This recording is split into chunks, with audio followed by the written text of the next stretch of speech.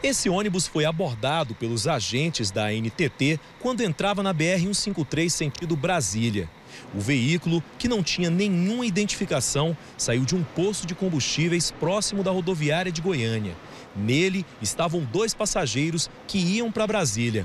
Os dois homens preferiram não gravar entrevista, mas contaram que compraram as passagens através de um aplicativo e não sabiam que o ônibus estava irregular.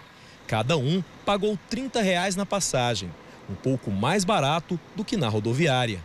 Segundo o supervisor da Agência Nacional de Transportes Terrestres, o ônibus foi apreendido porque estava com várias irregularidades e não podia transportar passageiros para Brasília. Ele estava autorizado a fazer um transporte de turismo, ou seja, pegar um grupo de passageiros aqui de Goiânia, levar para uma outra cidade, fazer um passeio e retornar. Nesse caso, era só uma perna da viagem, só estava fazendo de Goiânia a Brasília. Além de, da, dessa regularidade de documentação, foi encontrada também a, a lanterna dele, estava queimada, a lental dos faróis. O veículo foi guinchado e levado para o pátio da NTT. A empresa dona do ônibus foi multada em 8 mil reais. Já os passageiros tiveram que comprar as passagens na rodoviária para seguir viagem para Brasília. Todos os dias, vários ônibus como esse são flagrados com irregularidades nas rodovias que cortam o estado. No Brasil, só esse ano, 396 veículos foram autuados e 230 apreendidos, fazendo o transporte irregular de passageiros. O maior problema desse tipo de transporte é justamente o passageiro, que busca, muitas vezes, uma passagem mais barata mas esquece que está colocando a sua vida e da sua família em risco.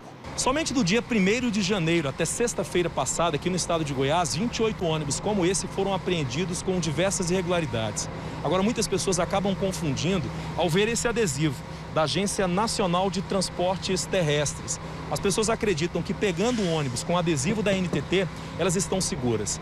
Mas isso não quer dizer nada. Não é porque o ônibus tem esse adesivo que o motorista ele tem autorização para fazer certos tipos de viagens. Todas as empresas cadastradas, regularizadas na NTT, saem do terminal rodoviário de Goiânia. Por exemplo, esse ônibus apreendido hoje estava saindo de um posto de gasolina. Então, assim, levanta a suspeita. Eu acho um absurdo. Eu acho que devia tirar de circulação eles, né? Viajar, legal, legal porque tem toda a segurança. E o clandestino é corre risco, né, de de um sinistro, né? Então tem que evitar.